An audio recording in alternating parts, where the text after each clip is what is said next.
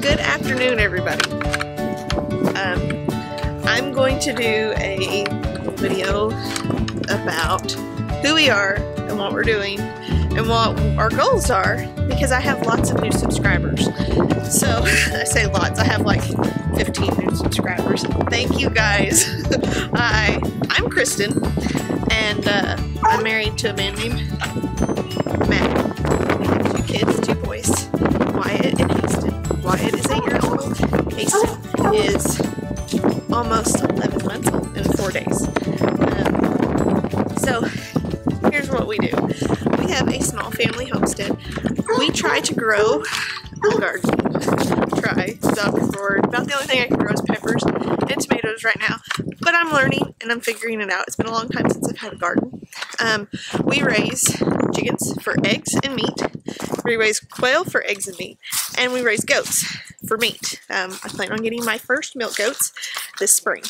So right now what I'm doing is I'm kind of walking around the property. We also have some large stock that um, does not contribute anything to our homestead. It's just they're purely here for aesthetic value and uh, you know. So I'll show you some of what we've got going on. This is the laying chickens. We have three um, Bovans browns is what they're supposed to be. I believe they're production reds. Four turkeys, uh, one Australorp, one black sex-link and one black sex-link cross, and one really old yellow hen who's coming out. She's a Buff Orpington. Um, the Buff Orpington's about five or six years old, so she uh, she's just she's a granny and she's here to stay. She did hatch out some babies though once, so of course she's super broody. And all th the two older black hens are broody. The cross, little cross black hens. So we put hay in here. If you're wondering what that is, um, it gives them some scratch in. They really like it, and it turns to compost because then in the spring, when we move this chicken coop, because although it's huge and heavy, it is mobile. We will uh, scrape this out and use it in the garden. That there is a cross between a game chicken, a game hen, and a banny rooster, I think. Or a banny hen and a game rooster. One of the two. We had both. so there's about, there's one full-blood rooster, four full-blood hens, and then that's chicken. These are just pets. Um, they do like cute little eggs that are neat to boil for, for Easter and Easter egg hunts. But those are my son Wyatt's. Okay, and one more chicken pen, which is a mobile chicken pen. I move it almost daily. I haven't, you're like, oh, you're really close to my nose, sorry. I haven't here the last couple days because, or the last, well, about a week or so, because it's cold and rainy and, you know, we were just really don't want to mess with it a whole lot. There's nothing for them to eat, so we add to their cage, but I'll show you what's in it. These are our grow outs. There's about three or four hens in here though.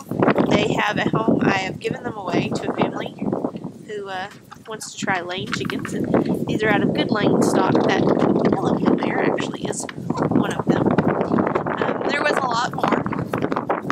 They, uh, they got poisoned accidentally with some water that run off the roof.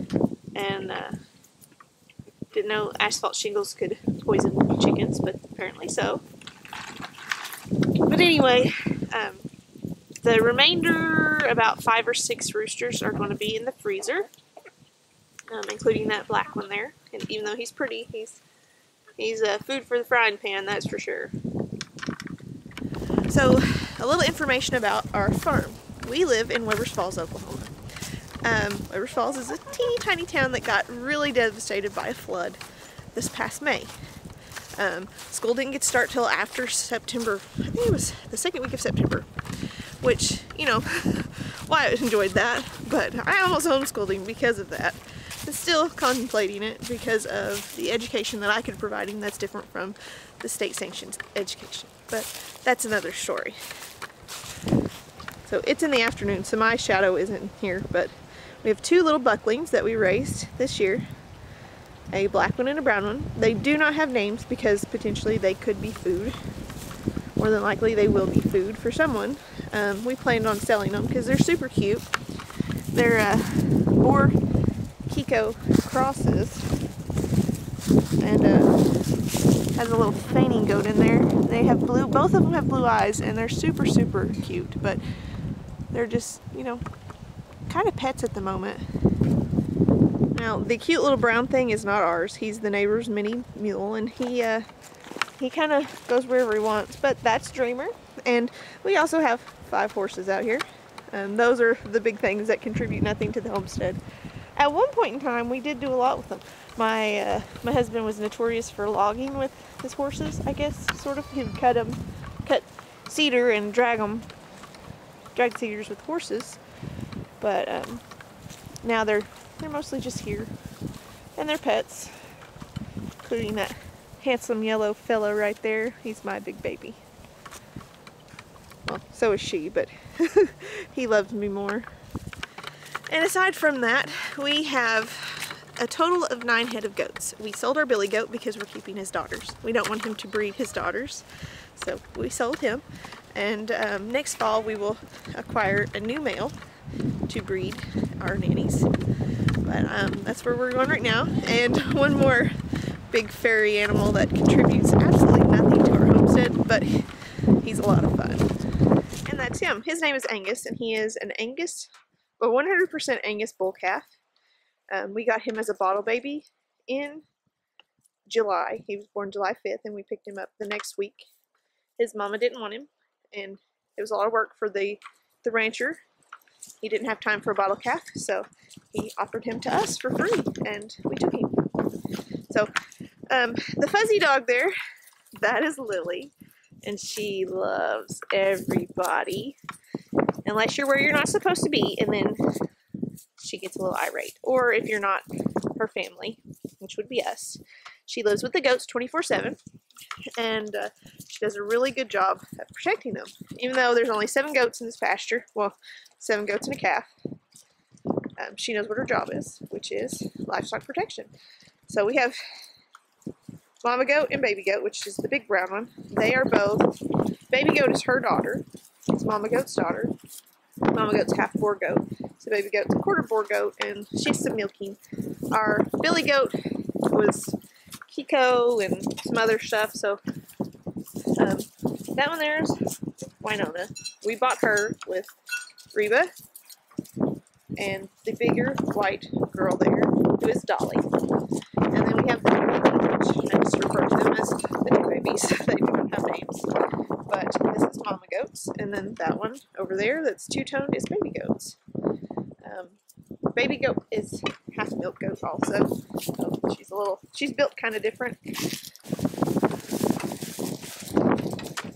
Um, Winona is my pet. She is they're half Kiko, a quarter Boer, and a quarter fainting goat. She has blue eyes. She's absolutely darling, but she's so tiny. She's had a rough start in life. Um, she got really wormy really fast and, um, you know, had some issues, so she's kind of small. So she's probably going to be a pet, or I will breed, find a small buck to breed her to, to see if we can even get babies out of her. But that is our the remainder of our goat herd, and you can see Lily making Mama goat behave. Lily counts as the goat herd because it's her goat herd. She's actually a neat dog. She's half rough collie and half Anatolian shepherd. And the person I got her from is named Julie, and she is a sweet, sweet, sweet girl. And um, she has goats and cattle. So the Anatolian protected the cattle, and the uh, rough collie was with the goats. So she has been with goats her entire life. So she worked out perfect for being here with us for our goats. So aside from the animals that you see here, we also have a few others. There's um, I have a house cat. We have two hunting dogs, and uh, that's about it for our animals and some fish and a turtle. We have a turtle. But um, you know, guys, I just wanted to give an update on what our farm is and what we're doing. But anyway, guys, um, I did restart recording yesterday also. I didn't like where it was going. Oh, before I sign off here, I'll show you the main feature of our farm. And uh, it is in this right here.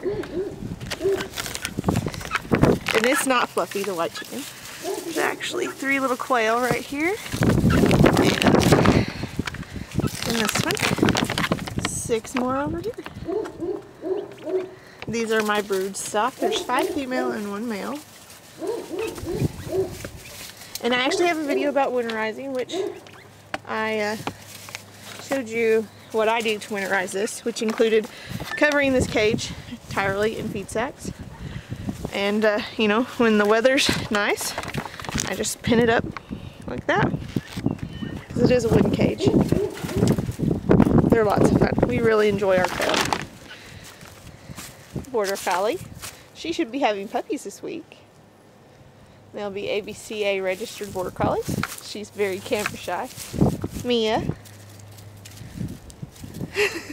Don't lay down, you silly girl. Because I did start filming yesterday, and I didn't like where I was going with it because it was cold, it was too cold to take the baby outside, which he's right now taking a nap, that's why I'm outside. Um, it's only 46 degrees out here, and the sun's shining, it's nice and pretty, but it's just not good weather for the baby. Um, but I started putting up our artificial Christmas tree in the house. But uh, like I said, I didn't like where that was going. I may include it in another video when I let Wyatt decorate our tree. But other than that, you know, that's about it. I cook, I clean, I do the housewife, and I do the homestead. Um, that's about it. You know, I'm Kristen, my husband's Matt, we have two children. And uh, I just thought I'd give you guys an introduction into our lives, our homestead life. So uh, thank you guys for watching. If you made it this far, I so appreciate it. And I am so appreciative of my 100 subscribers. I have to start somewhere and a small goal big goal. Either way you look at it. A goal is a goal. But uh, thank you guys for watching. I appreciate all the likes, the comments, the feedback. Keep it coming. I enjoy it. And I love if someone thinks I can improve something, let me know. I, I can sure give it a try. But um, anyway, guys, thanks for watching. You know, thumbs up if you like us, subscribe if you haven't already, and we'll see you soon.